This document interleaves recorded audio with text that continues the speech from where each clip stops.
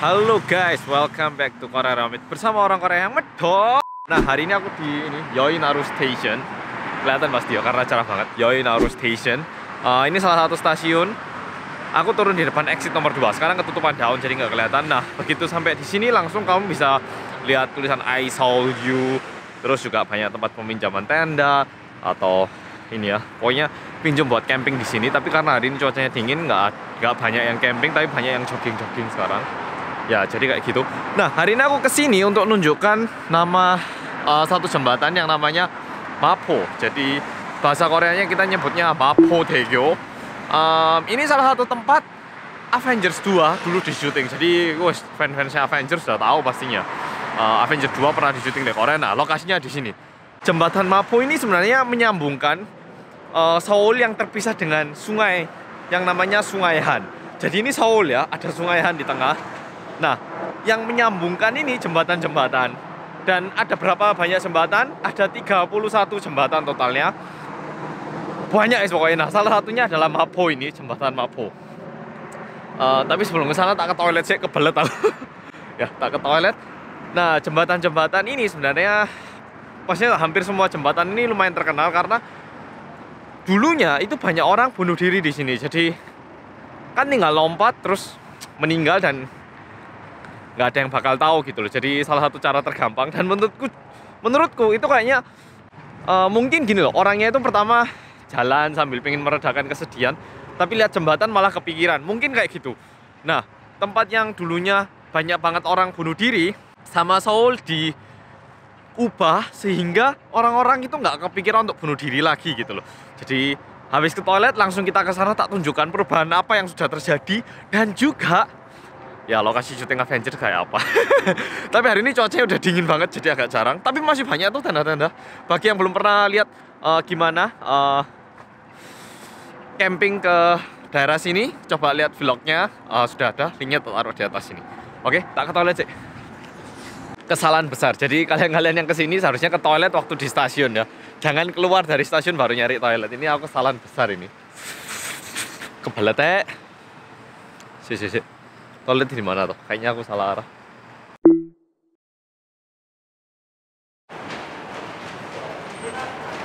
Akhirnya balik buat toilet. Hari ini cuacanya agak dingin, 5 derajatan. Nah, jadi saking banyaknya yang bunuh diri di sini, uh, pemerintah Seoul itu mengambil suatu, suatu tindakan di tahun 2013-an ya nggak salah untuk memperbarui jembatan ini Jembatan ini dinamai jembatan kehidupan setelah itu. Nah, kenapa jembatan kehidupan? Kita cari tahu bersama ya. Nah, ini udah nyampe kayak gini.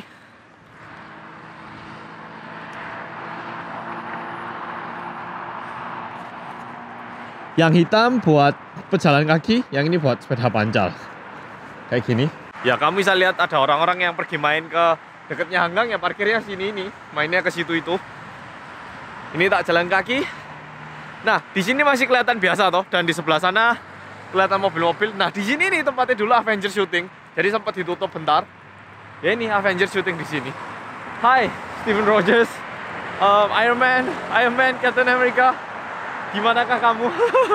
Oke, tak jalan sedikit lagi baru tak ngomong lagi ya. Nunggu sampai ada sedikit perubahan karena ini masih sama semua. Nah, jadi setelah kamu jalan beberapa saat, kamu bakal nemu ada kayak ginian. Ini lem malam nyala. Maaf aku mau malam, malam mau ke sini tapi lem malam is kedinginan sekarang jadi aku datangnya agak sore. Nah, ini juga mencegah orang lompat. Kenapa kok mulai ditutupnya di sini? Karena di sini tuh mulai tempat mulainya sungai. Ya kan orang nggak mungkin tuh lompat ke daratan kan langsung mati piok pecah. Bahkan nggak mati mungkin patah tulang. Jadi mulai ditutupnya di sini. Nah, di sini ini sebenarnya banyak banget tulisan yang bikin kamu bakal mikir lagi, apakah aku harus bunuh diri gitu loh aku baca ini benar-benar menyentuh hati. Ini yang bikin kenapa Hanggang ini menjadi jembatan kehidupan. Kita tunjuk tulisannya ya.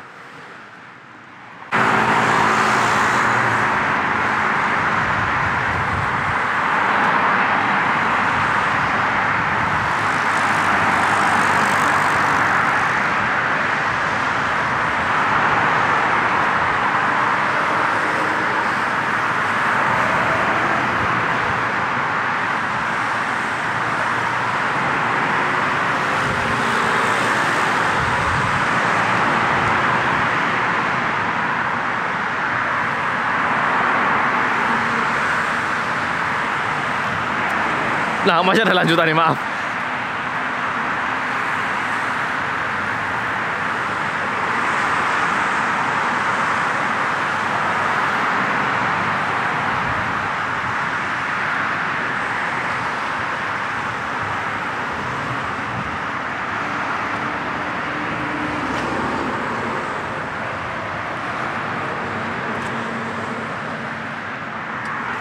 Jadi Dohokan ini dituliskan ditulis oleh Isongi yang tinggal di kota Goyang. Jadi itu kan dituliskan buat mereka-mereka yang uh, patah hati atau yang lagi sakit karena cinta. Meski cinta itu nggak semudah yang apa sih aku lupa. Pokoknya edit tak tulis lah kok. Eh, subtitlenya pasti ada, editannya ada, translatannya. Nah di sini juga ada. Sesangkesa kajang.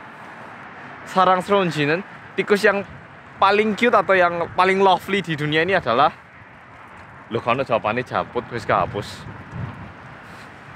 Ya, jadi kamu lihat jalan terus ada tempat kayak gini, bisa duduk-duduk. Nah, kayak gini ini. Bener-bener di tengah jalan gini. Ada cermin. Ini bilang asik banget. Kapan uh, lain waktu mau datang lagi. Hehe, ke Hanggang. Ya, pokoknya banyak pesan-pesan. Ada cermin juga kayak gini ini nggak nggak boleh sebenarnya kayak eh, dicoret-coret kayak gini. Tapi lebih baik lah daripada orang meninggal. Di sini juga ada pesan-pesan. Uh, kelihatan hanggang.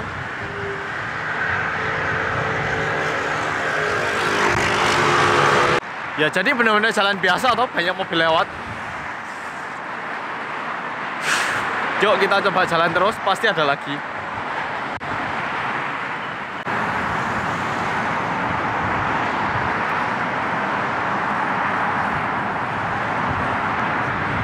Ya, jadi ada tulisannya 911 ya. Uh, kalau kejadian darurat, ini tertulis kalau di sini ada kamera CCTV dan juga ada bel untuk bel darurat ya. Misalnya terjadi hal-hal yang bahaya, di sini tertulis uh, terjadi keadaan darurat ataupun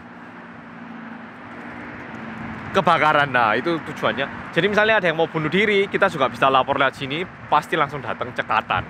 Kayak gitu. Dan di sini juga tetap ada kata-kata sambil jalan tak bacakan tapi sebelumnya tak tunjukkan ada satu kapal feri jalan ini.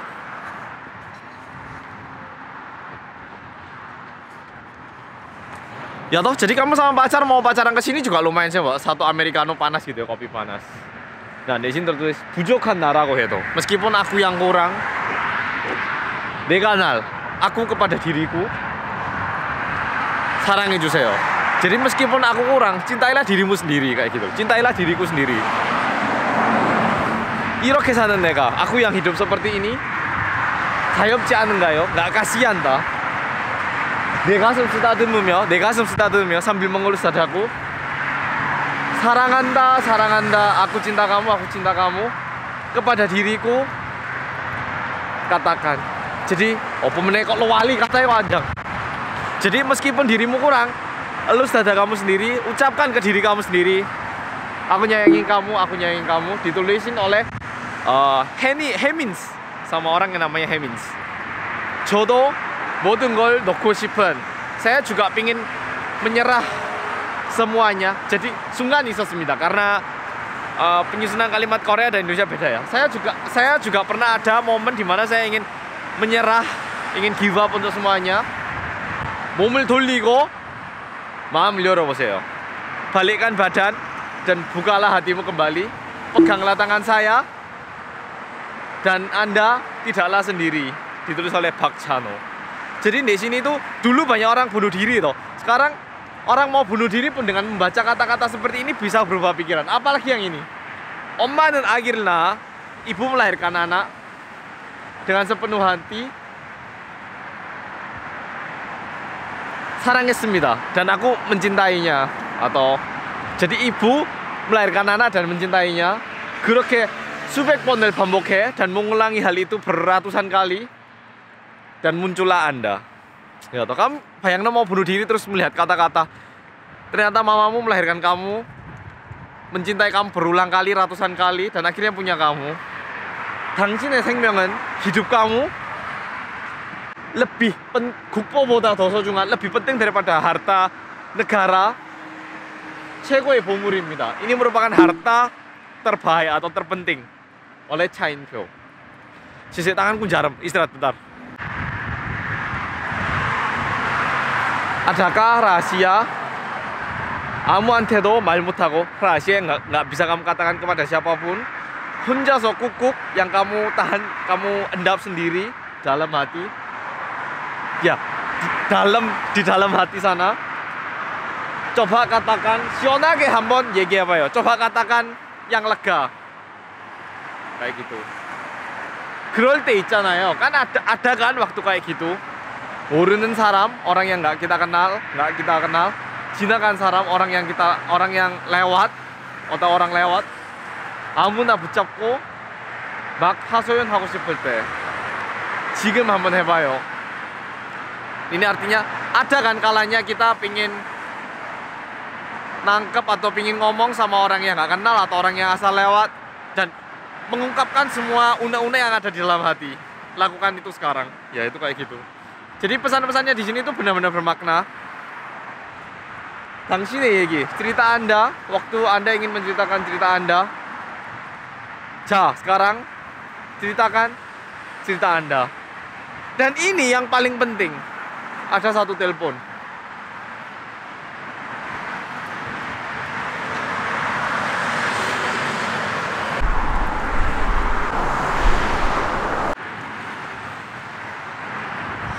tertulis di sini gini 24 artinya 24 jam ya 지금 힘드신가요? apakah anda merasa kesusahan sekarang? 당신의 이야기를 기다립니다 kami menunggu cerita anda uh, SOS 생명의 전화란 jadi ini telepon SOS kehidupan. Jadi ini jembatan kehidupan, toh. ini telepon kehidupan. Uh, kamu bisa nelpon 119 atau 911 ya di Korea 119 kita bilang ya untuk uh, melaporkan biar ada ambulans datang atau keadaan darurat. Kalau yang ini Sengmyeong Ejona atau telepon kehidupan ini kamu bisa telepon, bisa menceritakan apa sih yang bikin kamu sedih, stres atau ketika kamu butuh seseorang itu loh. Jadi barisan itu kan tertulis kamu ada kan kalanya ingin bicara dengan seseorang menceritakan semua uno uno nah di sini tuh sudah disediakan telepon yang benar-benar bisa dihubungkan ke orang. Le nggak salah yang ngangkat pun juga seorang konsultan yang profesional. Jadi orang-orang yang ingin bunuh diri ketika nyampe di sini kan pasti tergoyang tuh setelah membaca kata-kata itu dan hanya dengan mengangkat telepon kamu nggak perlu bilang kamu siapa apa masalahmu kamu punya utang berapa. Nggak peduli kamu jelek ganteng atau gimana. Kamu cuma telepon. Bakal ada orang yang mau menerima mendengarkan cerita kamu gitu loh. Ya. Jadi aku merasa bahkan tali telepon ini merupakan tali kehidupan yang bisa menyelamatkan menyelamatkan banyak orang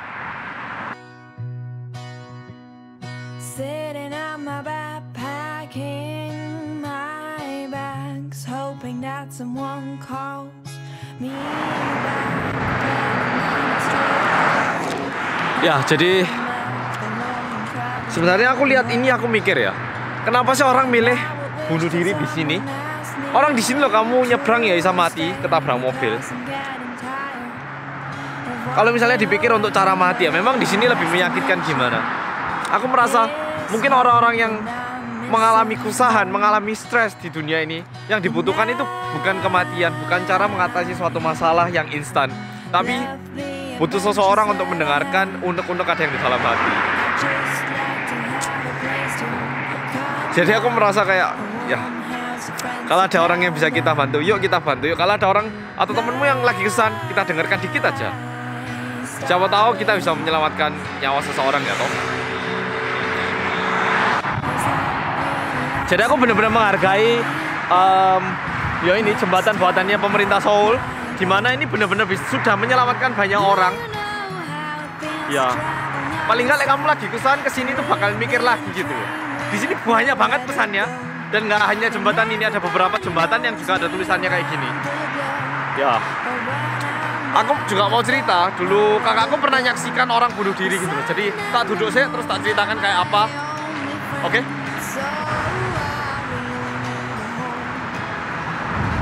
Um, kayaknya itu speaker buat keamanan misalnya ada yang mungkin ya nggak tahu nggak yakin aku. Misalnya terjadi suatu hal bisa ngumumkan langsung ya.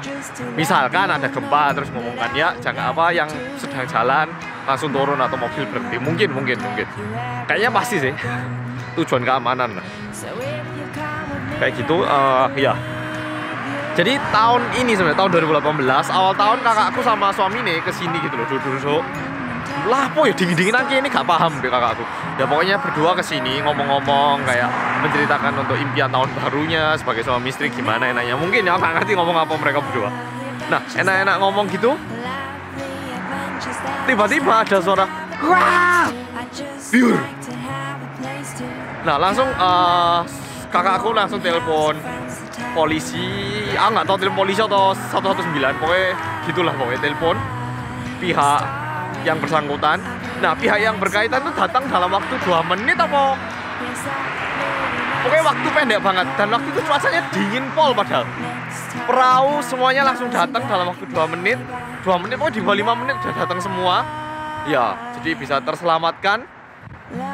Padahal akhirnya dinginnya kayak gitu loh. Banyak yang memang ya dunia sekarang itu susah buat hidup aku berharap kalian nggak komen aduh mental lemah gini. Kita sebelum bisa merasakan kesusahannya seorang la orang lain kayaknya kita belum apa ya belum layak untuk bilang hidup orang lain itu nggak susah deh. Sama aja kayak hidupmu pasti susah tuh orang-orang tapi pasti bilang aduh hidupku itu lebih susah dari kamu. Mungkin. Pasti ada orang yang hidup lebih susah daripada kamu. Jadi siapa pun kamu foto follow-follow yang sekarang juga kepikiran kayak stres banyak jangan nyerah wis. Pasti matahari akan terbit hari akan membaik semua ya pokoknya tadi kayak gitu polisinya datang langsung. Nggak salah kakak iparku ditanya-tanya gitu oh tadi lompatnya gimana? gitu. Atau ya ditanyai sebagai saksi lah gitu. Untungnya orangnya selamat cowok. Padahal akhirnya dingin banget tuh pasti uh dingin kayak apa itu pas Desember ya? Ya jadi kayak gitu. Lek kamu misalnya ke sini pas musim gugur ya kayak bulan awal-awal Oktober atau September. Ke sini oh lumayan bagus ini. Sungguh nah hatiku tersentuh banget baca-baca ini dulu. Dan sing pengen tak sampaikan ini aku pernah baca banyak hal tapi ada satu hal yang sampai sekarang belum tak lupakan. Kadang itu kita merasa orang tua nggak suka kita karir nggak kena hidup itu nggak mendukung kita untuk hidup. Rasanya semua orang bisa sukses aku nggak bisa sukses. Tolong pikirkan ini loh paling nggak dulu waktu kita lahir nih dunia ini ya kebanyakan dari kita aku yakin orang tuamu itu pasti wah bersorak-sorai terlalu saking bahagianya punya kamu gitu loh. Ah nggak tahu ini udah berapa tahun kamu di bumi ini menginjak bumi ini, tapi yang pasti dulu itu kamu lahir sebagai suatu sosok yang sangat membahagiakan banyak orang gitu loh. Kenapa kamu sekarang ada di situasi yang mungkin stres atau nggak punya harapan? Kenapa? Pikirkan baik-baik. Aku yakin situasi bisa dirubah. Jadi bagi yang lagi ada kesusahan atau stres, semangat, oke? Okay? Pasti bisa. Aku nggak cuma bilang pasti bisa, tapi pasti ada maksud. Pasti ada maksud yang Tuhan sudah rencanakan buat hidup kamu. Cuman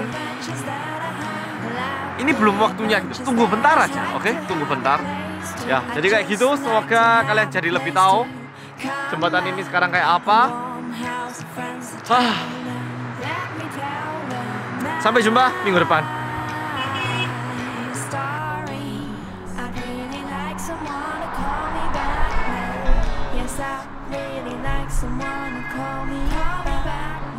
Next time I pack I'm